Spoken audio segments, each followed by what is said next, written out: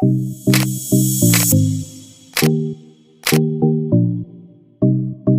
Assalamualaikum warahmatullahi wabarakatuh. Ketemu lagi dengan saya di channel vlog berita. Oke teman-teman, hari ini tuh ada kabar berita dengan judul Jokowi dan Ibu Negara Salat Idul Fitri di halaman Istana Kepresidenan Bogor. Presiden Joko Widodo dan Ibu Negara Iriana Jokowi melaksanakan Salat Idul Fitri 1442 Hijriah di halaman gedung induk Istana Kepresidenan Bogor, Jawa Barat pada hari Kamis pagi tanggal 13 Mei tahun 2021.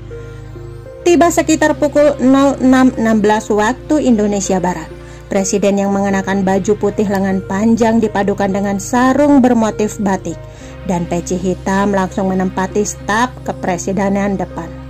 Sementara ibu negara Iriana yang mengenakan mukena berwarna coklat muda langsung menuju tempat yang telah disediakan. Tepat pukul 06.36 waktu Indonesia Barat, salat Idul Fitri dimulai.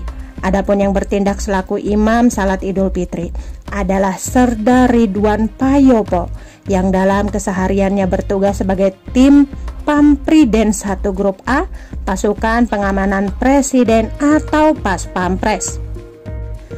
Dalam khotbahnya, Serda Payopo menyampaikan bahwa menjalankan amalan serta ibadah di rumah dan menerima keadaan dengan adanya wabah seperti saat ini merupakan satu di antara ujian yang diberikan oleh Allah Subhanahu wa taala. Kita harus bersabar menerima kenyataan karena ini pada dasarnya apa yang kita lakukan tidak lain yakni dalam rangka menaati Allah, Rasulullah, para ulama dan pihak berwenang yang pada intinya bertujuan untuk menyelamatkan umat manusia dari ancaman wabah suatu penyakit, ucap Serda Payopo.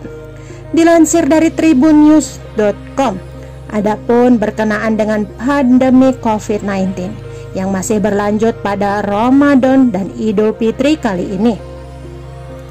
Serda Payopo juga berharap agar bulan Ramadan kali ini dapat menjadikan kita semua lebih baik dari sebelumnya.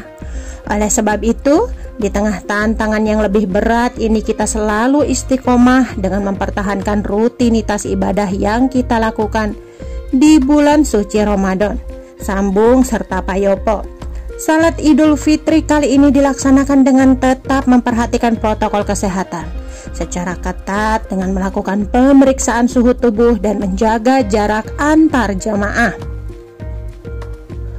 Tampak mengikuti salat Idul Fitri kali ini, beberapa perangkat melekat antara lain Komandan Pas Pampres Majen TNI Agus Subianto, Kepala Biro Pers, Media dan Informasi Sekretariat Presiden Erlin Suwastini, Komandan Grup A Pas Pampres Kolonel Inspektur Anan Nurrahman, Asisten Ajudan Presiden AKP Syarif Muhammad Fitriansyah dan pengawal pribadi Presiden Letu Windra Sanur setelah salat Idul Fitri selesai sekitar pukul 07.02 waktu Indonesia Barat. Presiden Jokowi dan Iriana kembali ke Wisma Bayurini Istana Kepresidenan Bogor.